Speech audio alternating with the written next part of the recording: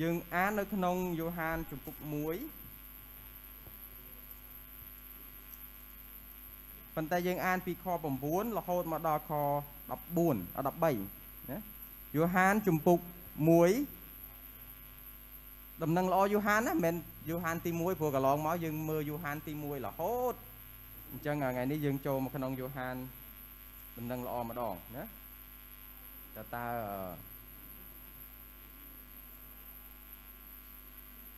អឺសូមមើលនៅក្នុងដំណឹងល្អយ៉ូហានយ៉ូហានជំពូក1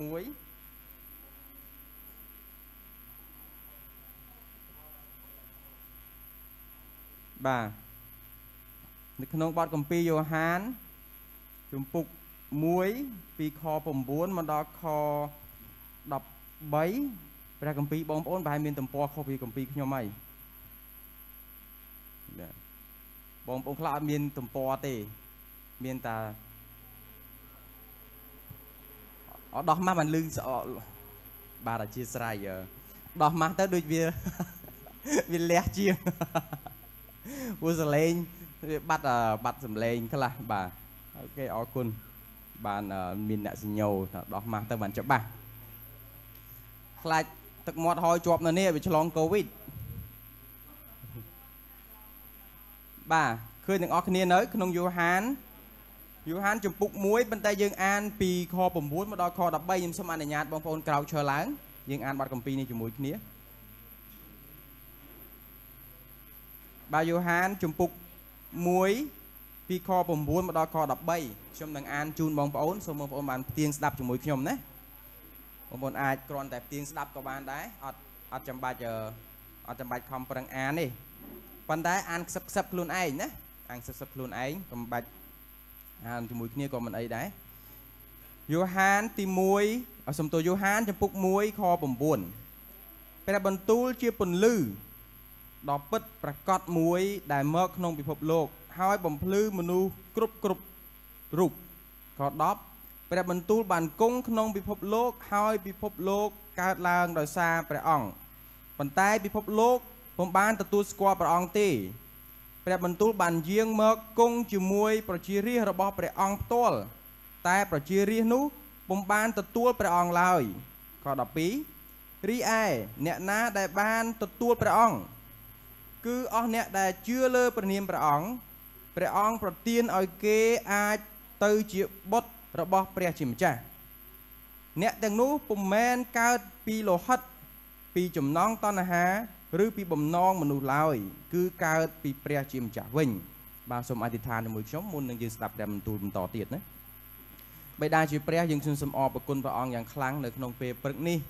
ដែលយើងមានឱកាសស្ដាប់ព្រះបន្ទូលហើយយើងដឹងថាទ្រង់បានយាងមកក្នុងโลกនេះតាំងពីរាប់ពាន់ឆ្នាំមកហើយនៅថ្ងៃនេះយើងខ្ញុំរំលឹកការដែលទ្រង់បានពេញដោយក្តីស្រឡាញ់យើងខ្ញុំរំលឹកថ្ងៃដែលទ្រង់យាងមកផែនដីនេះដើម្បីផ្ដល់សេចក្តីសង្ឃឹមដល់មនុស្សលោកគ្រប់គ្នាផងដែរ យើងអរព្រគុណព្រះអង្គយើងខ្ញុំស្ដាប់ព្រះបន្ទូលនៅព្រឹកនេះក្នុងព្រះនាមព្រះម្ចាស់ព្រះយេស៊ូវគ្រីស្ទអាមែនបាទអញ្ចឹងយើងឃើញរឿងគឺបាទអរគុណបាទសូមសម្រួលអាយ៉ាប័តរឿងនៅដែលយើងបានអានមុននេះគឺដូចជាមានពាក្យមួយចំនួនជាពាក្យកលឹះអញ្ចឹងមុននឹងយើងអាចយល់បទគម្ពីរយ៉ូហានបានយើងទាស់តែយល់ពាក្យកលឹះសិន សំបីតែនៅក្នុងបទគម្ពីរវិវរណៈដែលលោកយ៉ូហានសរសេរក៏គាត់ប្រើពាក្យកលឹះច្រើនណាស់បើយើងអត់យល់ពាក្យកលឹះទាំងអស់ហ្នឹងទេយើងអាចនឹងពិបាកយល់ណានៅក្នុងការដែលនៅក្នុងការដែលយើងធ្វើចឹងហើយបានជាយើងគួរតែបានយល់ពាក្យកលឹះទាំងអស់នោះដែរណាអានេះជាជារឿងសំខាន់ចឹងនៅក្នុងដែលយើងបានអានតែពីខ9មកដល់ខ13យើងឃើញមានពាក្យកលឹះ3 4បាត់ហើយដូចជាយើងឃើញមានពាក្យថាព្រះបន្ទូលជាពន្លឺ មានពាក្យព្រះបន្ទូល មានពាក្យពន្លឺមែនទេមានពាក្យពិភពលោក មានពាក្យស្គាល់ដូច្នេះតើពាក្យទាំងអស់ហ្នឹងសំដៅលើអីកាលណាដែលនិយាយពីព្រះបន្ទូលនៅក្នុងបទគម្ពីរយ៉ូហាននេះគឺសំដៅទៅលើព្រះយេស៊ូវគ្រីស្ទកាលណានិយាយអំពីពន្លឺនៅក្នុងបទគម្ពីរយ៉ូហាន គឺសំដៅទៅលើព្រះជន្មរបស់ព្រះយេស៊ូវគ្រីស្ទព្រះចេស្តារបស់ព្រះយេស៊ូវគ្រីស្ទផ្ទាល់នេះគឺយើងនិយាយពីពន្លឺហើយបើសិនយើងនិយាយពីពិភពលោកដែលសរសេរនៅក្នុងបទគម្ពីរនេះ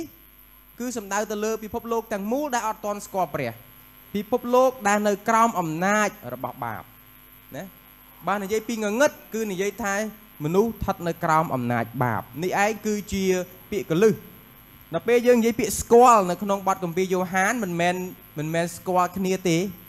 បទគម្ពីរយ៉ូហាននិយាយពីស្គាល់គឺសំដៅទៅលើពាក្យថាជឿបើគេថាគេអត់ស្គាល់ព្រះស្មើនឹងគេអត់ជឿព្រះ ណាដូច្នេះនេះគឺជាពាក្យកលឹះដែលយូហានគាត់ប្រើដល់ពេលយើងយល់ពាក្យកលឹះទាំងអស់ហ្នឹងបានយើងស្រួលនិយាយគ្នាណាមិនមិនមិនខុសអីពីបរទេសមកស្រុកយើងអត់ទាន់ចេះពាក្យកលឹះមកដល់សួរយើងអូនតោះស្អែកទៅដើរលេងគេដឹងស្អែកទៅដល់ពេលស្អែកទៅបរទេសស្អែកឡើងទៅអង្គុយចាំមែនអត់ដឹងអាពាក្យស្អែកស្រុកយើងដឹងបាននេះថាម៉េចស្អែកស្រុកយើងស្អែករហូតណាក្មេងៗនិយាយឥឡូវហ្នឹងស្អែកទៅអង្គុយចាំស្ពឹកមុខតោះតើស្គាល់ពាក្យកលឹះរបស់វាអញ្ចឹងណា បានយើងអាចដឹងបានថាតើគេចង់និយាយអីឲ្យប្រកបដូច្នេះយូហានបានលើកឡើង ពាក្យទាំងអស់នេះធ្វើឲ្យយើងដឹងអំពីពាក្យកលឹះរបស់វាណាដូច្នេះនៅថ្ងៃនេះយើងមើល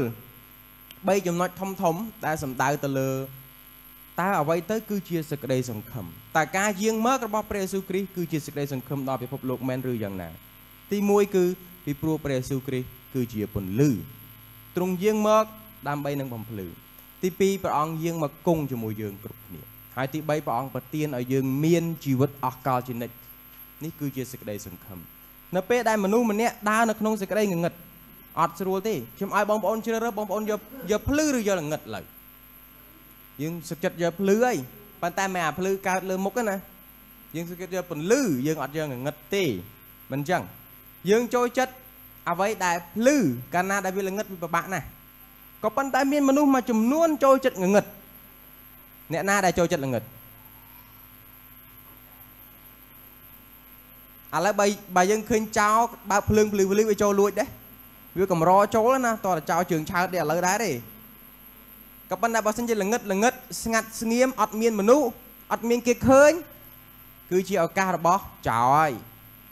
ឡើយនេះសំខាន់ណាស់ដូច្នេះក៏មានពួកអ្នកដែលចូលចិត្តសេចក្តីងងឹតគឺជាអ្នកដែលនៅក្រោមអំណាចរបស់បាប អ្នកដែលចង់ធ្វើអ្វីដែលលាក់លៀមអ្នកដែលចង់ធ្វើអ្វីដែលមិនអោយគេឃើញអញ្ចឹងអត់ចង់ឲ្យគេឃើញមកថាត្រូវតែបិទបាំងបើបិទបាំងគឺល្ងឹតហើយក៏ប៉ុន្តែមនុស្សសុចរិតគេចូលចិត្តពន្លឺហើយគេចង់បានពន្លឺមិនមែនគ្រាន់តែចូលចិត្តពន្លឺទេគេថែមទាំងចង់បានពន្លឺទៀតអានេះគឺរឿងសំខាន់មែនទែនដូច្នេះហើយបានជាយើងមើលនៅពេលដែលព្រះបន្ទូលបានប្រាប់ថាមនុស្សបានចូលចិត្តសេចក្តីងងឹតបានន័យថាគេចង់នៅក្រោមអំណាចបាប គេអត់ចង់នៅក្រោមអំណាចរបស់ព្រះជាម្ចាស់ទេអញ្ចឹងហើយបានជានៅក្នុងខ9បានប្រាប់យើងថាម៉េចព្រះបន្ទូលជាពន្លឺដ៏ពិតប្រាកដមួយ ដែលមកក្នុងពិភពលោកនេះព្រះបន្ទូលជាពន្លឺដ៏ពិតប្រាកដមួយ ដែលយាងមកក្នុងពិភពលោកនេះព្រះបន្ទូលមកបំភ្លឺឲ្យភ្លឺកុំឲ្យនៅមានសមោលញ៉ៃញ៉ៃច្រើនពេកកុំឲ្យយើងមានសមោលព្រាលព្រាលនៃនៃអំពើបាបនៅក្នុងជីវិតរបស់យើង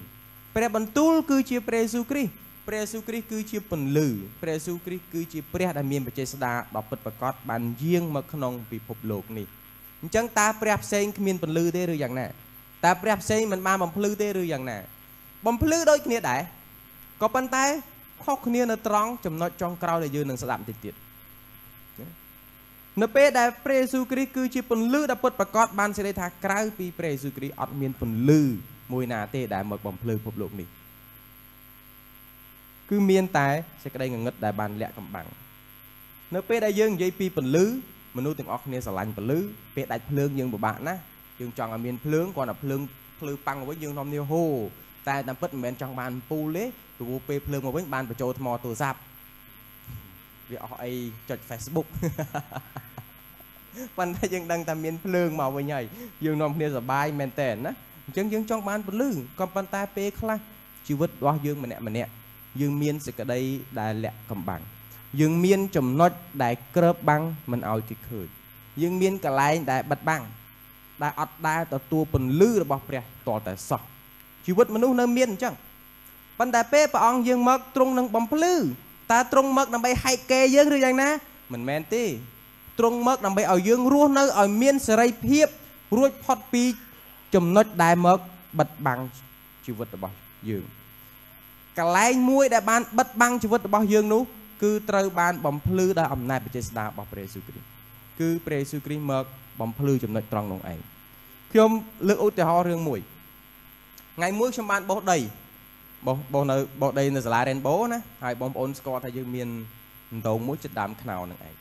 អណ្ដូងចិត្តដើមខ្នោពីដើមឡើយវាមានកម្រើប កម្រើបវានឹងគឺថ្មហើយនៅពេលដែលយើងត្រូវបូមទឹកម្ដងម្ដង គឺបងនីតែងតែហៅប្រុសប្រុសឲ្យជួយអង្គលថ្មនឹងចេញវាធ្ងន់ហើយយើងដាក់ថ្មមិនដឹងរឿងអីគេគេទៅចាក់ចាក់បេតុងធ្វើកម្រើបត្រូវការមនុស្សប្រុស2នាក់បានលើកចេញបើថាម្នាក់ឯងបានតែអង្គលទេដល់អញ្ចឹងក៏សម្រេចចិត្តថាយើងដូរកម្រើបថ្មចេញយើងដាក់កម្រើបដែកមកវិញយើងធ្វើក្រុងដូចដែកដូចតែក្របឆ្នាំងណាធ្វើអញ្ចឹងវិញហើយក៏យកអាថ្មហ្នឹងទៅ ដាក់ចោលនៅកន្លែង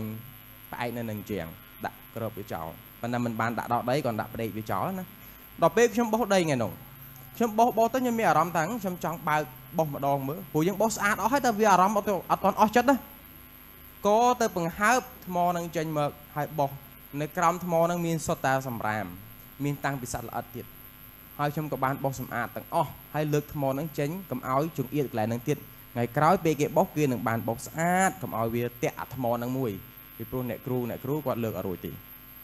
ហើយធ្វើឲ្យខ្ញុំរៀនបានមេរៀនមួយខ្ញុំថាពេលខ្លះជីវិតរបស់មនុស្សយើងមើលទៅស្អាតមែនតើក៏ប៉ុន្តែនៅពីក្រោយកន្លែងដែលស្អាតនៅមានកន្លែងមួយដែលបិទបាំងដែលអត់ដែលមានអ្នកណាឃើញទេនៅពេលដែលមនុស្សបានបិទបាំងចំណុចខ្សោយរបស់ខ្លួនទីនោះខ្លាយទៅជាជំរើករបស់បាបគឺសេចក្តីអាក្រក់ ភាពអបាយមុខទាំងឡាយវានឹងទៅរត់ពួននៅខាងក្រោមនឹងតែម្ដងអ្វីអ្វីយើងបង្ហាញបានប៉ុន្តែនៅកន្លែងមួយបង្ហាញមិនទាន់បានទេមនុស្សមើលយើងអត់ឃើញធ្លុះដល់ត្រឹមនឹងទេជាកន្លែងដែលលាក់ទុកជាជីវិតមួយដែលយើងបានលាក់ទុកហើយវាคล้ายជាជំងឺជំរើករបស់បាបដូចដូចដេញតែគម្របថ្មដែលសម្រាមអាចឆ្លៀតអាកាសចូលទៅក្រោមនឹងបានហើយយើងបោះតែខាងខាងយើងយកលេសមួយថាខ្ជិលបោះកន្លែងហ្នឹងវាស្អាតហើយបោះតែពីលើថ្មហ្នឹងមើលទៅស្អាតហើយល្មមហើយតែតាមពិតនៅក្រោមថ្មនោះមានមានសម្រាមទៀត មានសត្វល្អិតទៀតមានក្អែបមានអីទៀត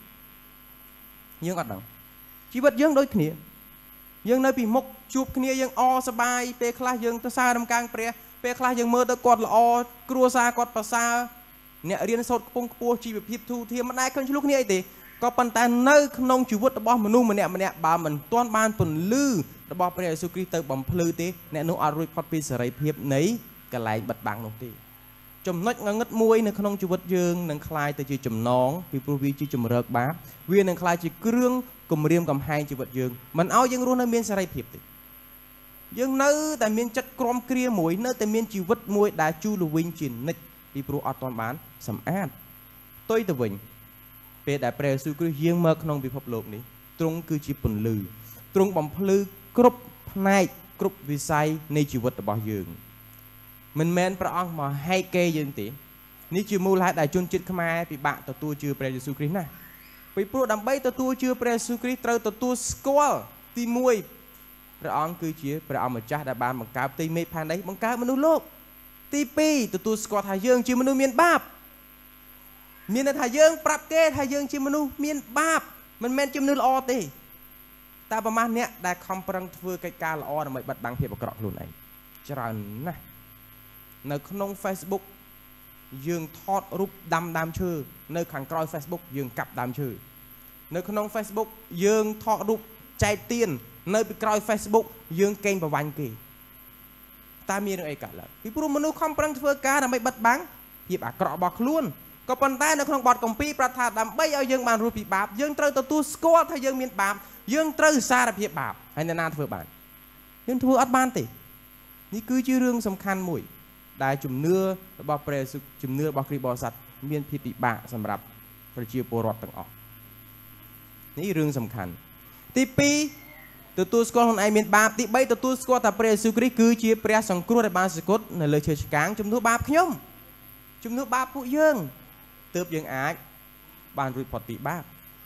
អញ្ចឹងនៅពេលដែលយើងទទួលស្គាល់ព្រះអង្គទទួលជឿព្រះអង្គព្រះអង្គនឹងដោះយើងឲ្យរួចផុតពី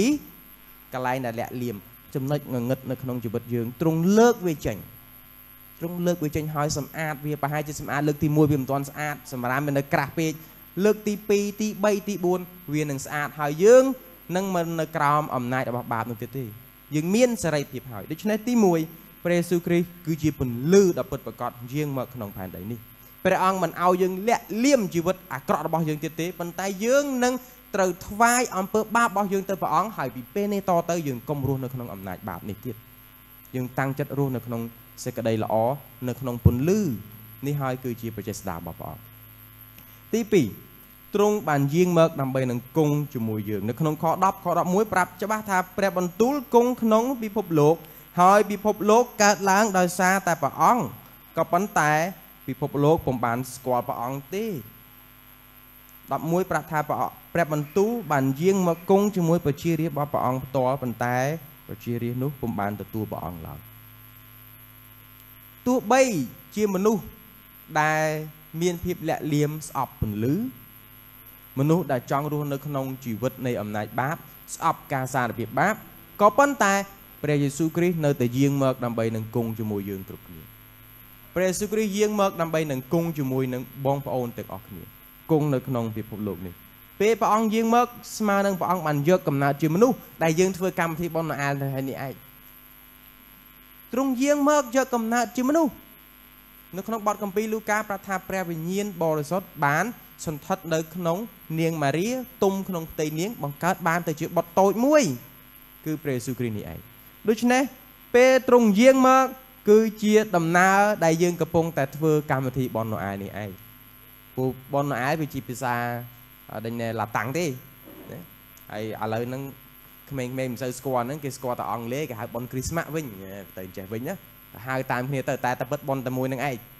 ណាហើយខ្មែរយើងកុំឲ្យច្រឡោកច្រឡំគេដាក់កំណើតព្រះយេស៊ូវបដ ாய் ឲ្យមានបោះខ្លួនឯងដែរមិនអញ្ចឹងកុំតែដាក់តាមបោះគេគឺអត្តន័យអញ្ចឹងកំណើតព្រះយេស៊ូវគ្រីស្ទពីព្រោះព្រះអង្គយាងមកដើម្បីគង់នៅក្នុងពិភពលោកនេះផ្ទាល់រឿងនេះគឺសំខាន់ណាស់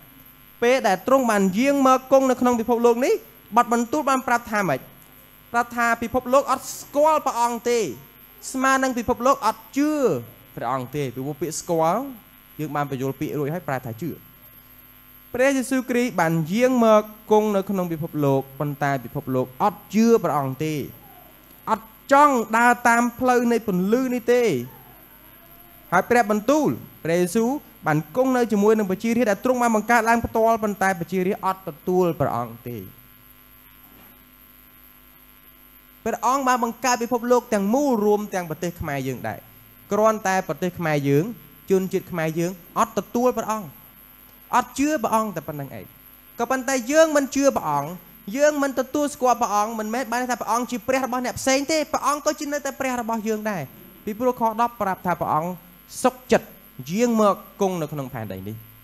ទោះបីជាយើងមិនជឿព្រះអង្គក៏ដោយក៏ព្រះអង្គបានគង់នៅក្នុងផែនដីនេះទៅហើយទោះបីយើងមិនជឿព្រះអង្គក៏ដោយព្រះអង្គក៏បានបង្កើតយើងបានទៅហើយទោះបីយើងមិនជឿព្រះអង្គក៏ដោយព្រះអង្គក៏ជាព្រះសង្គ្រោះរបស់ពិភពលោកទាំងមូលដែរ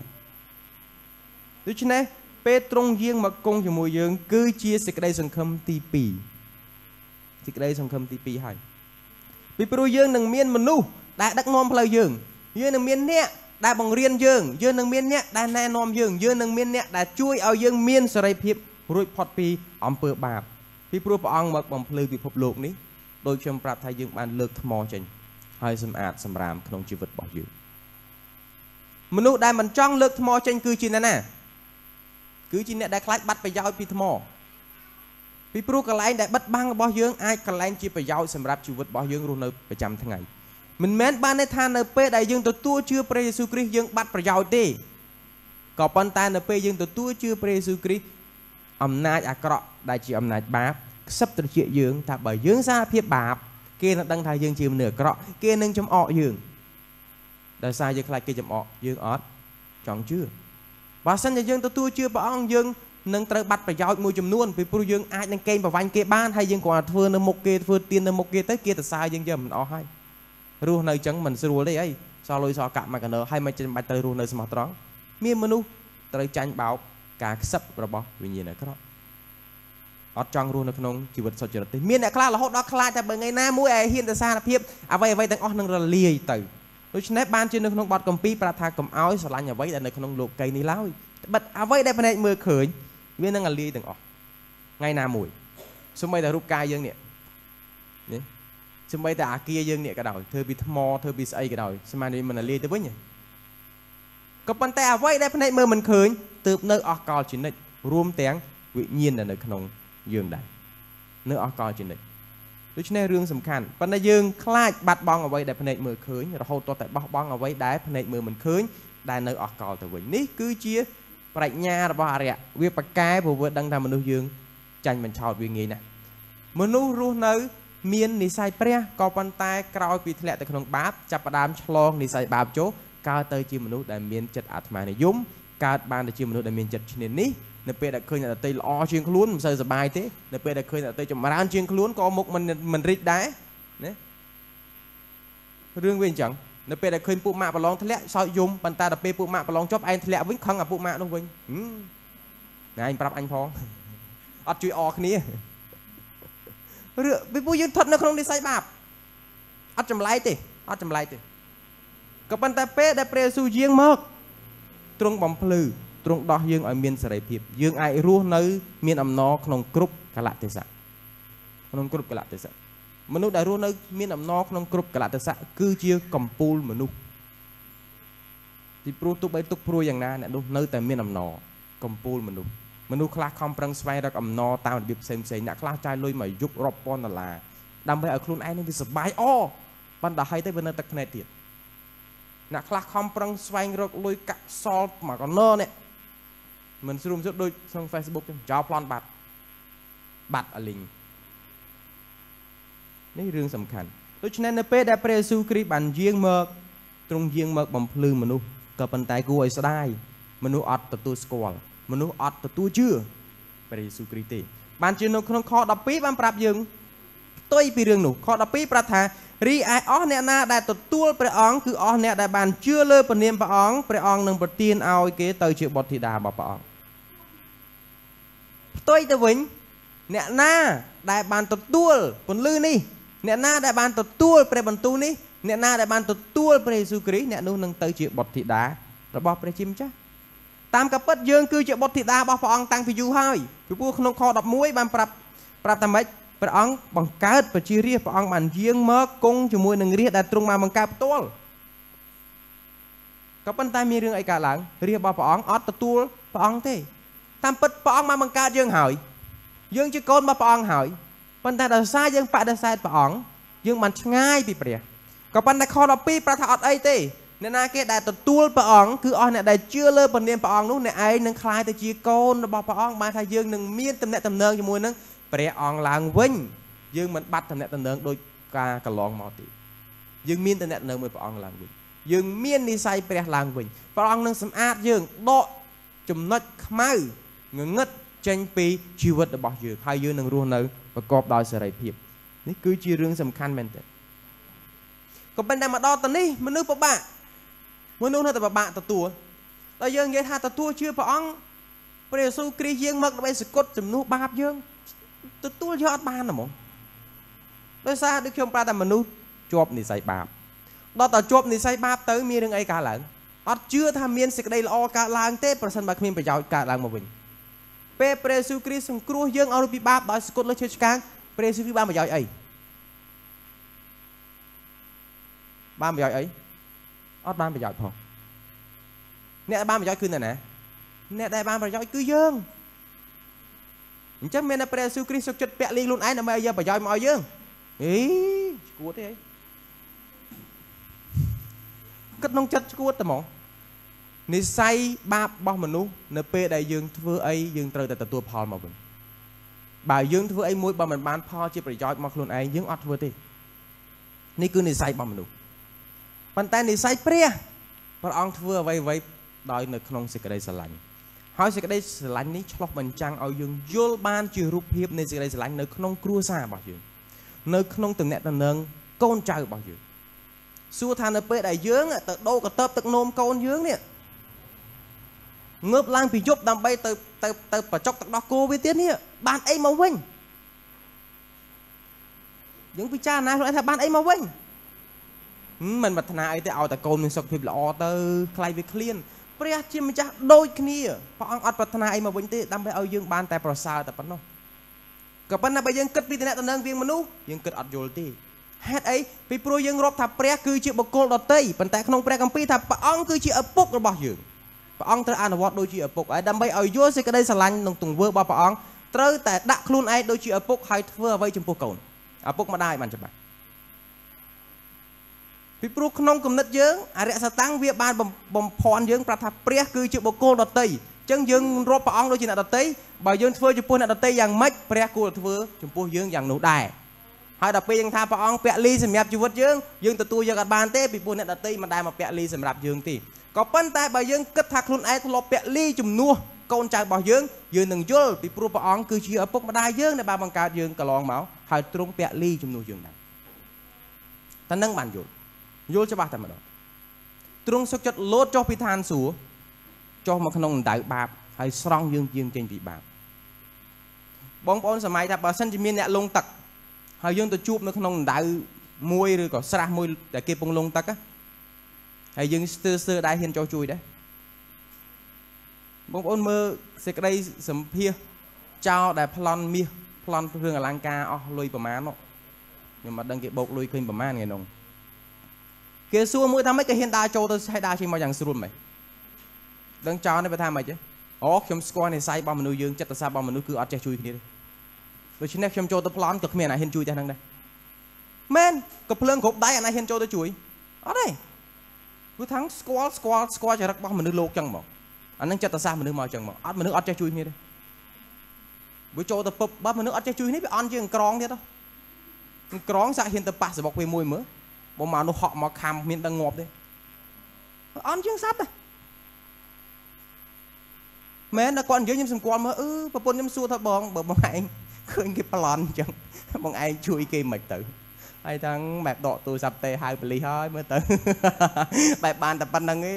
ងស្ទុះចូលទៅច្បាច់កទៅវាយជាមួយចោលគេសិតតែកភ្លើងគ្រប់ដៃគិតចឹងហ្នឹងហើយគឺនិស័យបាបរបស់យើង ចឹងនៅពេលយើងឃើញគេលងទឹកយ៉ាងច្រើនណាស់បានអឺជួយផងមនុស្សលងទឹក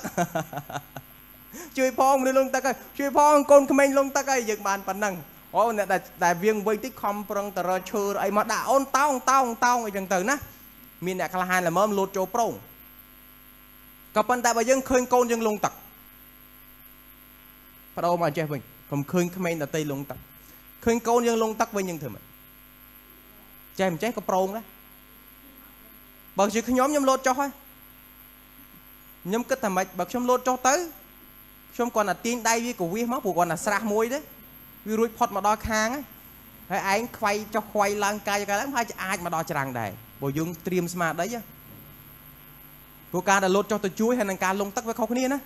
អ្នកដែលលោតចុះទៅជួយគ្នាមានស្មារតីអ្នកដែលលងទឹកគ្នាគ្មានស្មារតីទេត្រូវយល់អាហ្នឹងអញ្ចឹងអ្នកដែលលោតចុះទៅជួយគ្នាប្រុងស្មារតីឲ្យអស់ហើយ អញ្ចឹងខ្ញុំជឿថានៅពេលដែលព្រះអង្គបានឃើញយើងលងនៅក្នុងដៅបាប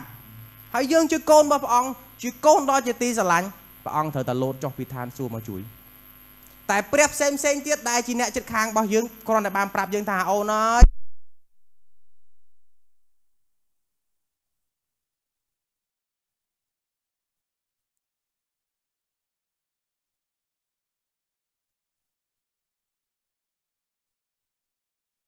ប្លន់គេទៅឈប់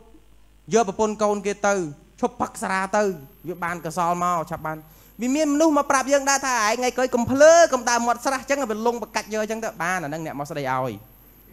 មានខ្លះទៀតអ្នកណាមានចិត្តល្អល្មមអូនអូនឯងកាយដៃមកកាយដៃមកអើចាប់តច្រាំងកាយមកពួកហ៊ានរត់ចុះជួយទេមានអញ្ចឹងច្រើនណាស់នៅក្នុងហ្នឹងសាសនាជាច្រើនពង្រៀនយើងឲ្យធ្វើល្អប៉ុន្តែអត់មានសាសនាមួយណាដែលមានព្រះលោតចុះមកដើម្បីសគត់ជំនួសយើងទេរឿងស្ដីបដៅចាំគ្នាស្រង់ឡើងពីគោខ្ញុំមកជេឥ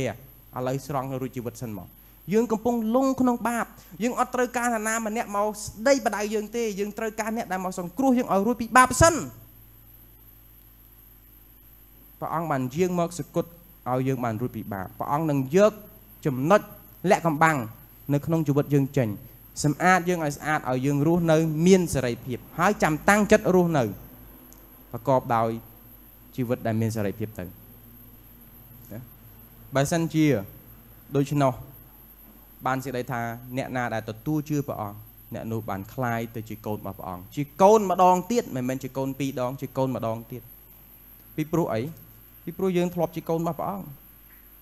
ចឹងដោយសារតែយើងមាននិស័យថ្មីនេះនៅខ13ប្រាប់ថាមិនមែនជានិស័យរបស់មនុស្សទេមិនមែនកើតចេញមកពីលោហិតបានតែឈាមណាដំណក់ឈាមទេមិនមែនកើតពីតណ្ហាទេព្រោះអ្នកខ្លះគ្មានដំណក់ឈាមទេមិនមែនកើតពីចំណងរបស់មនុស្សដែលព្រះអង្គប្រាថ្នាទេប៉ុន្តែកើតពីព្រះជាម្ចាស់វិញនេះជាជីវិតដែលព្រះអង្គប្រទានឲ្យយើងដូច្នេះព្រះអង្គជាពន្លឺដែលយើងមកដើម្បីនឹង បំភ្លឺពិភពលោកបំភ្លឺជីវិតយើងគ្រប់គ្នាកន្លែងណាដែលយើងមានសេចក្តីលាក់កំបាំងងងឹតសូមប្រគល់ទៅឲ្យព្រះអង្គសម្អាតដើម្បីឲ្យយើងរស់នៅមានសេរីភាពកុំឲ្យទីនោះខ្លាចជាជំរើករបស់បាបព្រះអង្គសន្យាថាគង់ជាមួយយើងបើទោះបីយើងពេលខ្លះបដិសេធព្រះអង្គក៏ដោយតែទ្រង់នៅតែបន្តគង់ជាមួយយើងទ្រង់ចង់នៅជាមួយយើងហើយបើសិនបើមនុស្សគ្រប់គ្នាបានប្រែចិត្តពិសេសបងប្អូនដែលស្ដាប់តាម Facebook ខ្ញុំជឿថាមានអ្នកខ្លះអត់ដែលបានស្គាល់ព្រះបន្ទូលព្រះទេក៏អត់ដែលជឿព្រះយេស៊ូវដែរជាឱកាសពីពុខខ12ប្រថាអ្នកណាដែលទទួលជឿព្រះអង្គអ្នកនោះនឹងក្លាយជាបុត្ររបស់ព្រះអង្គក្លាយជាបុត្រធីតារបស់ព្រះអង្គដែលយើងរស់នៅក្នុងជីវិតថ្មីនេះហើយគឺជាបុណ្យណូអែលដែលយើងកំពុងតែប្រារព្ធធ្វើរំលឹកអំពីសេចក្តីស្រឡាញ់រំលឹកអំពីព្រះចេស្តារបស់ព្រះអង្គ រំលឹកអំពីវីរភាពរបស់ព្រះអង្គដែលព្រមពលីសម្រាប់ពិភពលោកទាំងមូលបើយើងធ្វើប៉ុនណូអែលសូមនឹកចាំពីកិច្ចការនេះមិនមែនគ្រាន់តែពីរឿងណូអែលគិតទៅរឿងកាដូដូចយើងនិយាយសាមញ្ញនៅក្នុងក្រមយុវជននេះហើយជាអត្តន័យប៉ុនណូអែលព្រះយេស៊ូវគ្រីស្ទយាងមកក្នុងពិភពលោកនេះដើម្បីជាទីសង្ឃឹមដល់ពិភពលោកទាំងមូលសូមអធិដ្ឋានជាមួយខ្ញុំដើម្បីបញ្ចប់ព្រះបន្ទូលណា បិតាជាព្រះយើងខ្ញុំសូមអរព្រគុណព្រះអង្គយ៉ាងខ្លាំងដែលទ្រង់ហើយគឺជាព្រះលើអស់ទាំងព្រះយើងអរព្រគុណព្រះអង្គដែលទ្រង់បានពេញទៅដោយព្រះចេស្តាយើងអរព្រគុណព្រះអង្គដែលទ្រង់គឺជាពន្លឺដ៏ពិតប្រាកដហើយអរគុណព្រះអង្គដែលទ្រង់បានព្រមយាងចុះមកក្នុងពិភពលោកនេះដើម្បីសង្គ្រោះយើងខ្ញុំដើម្បីនឹងជួប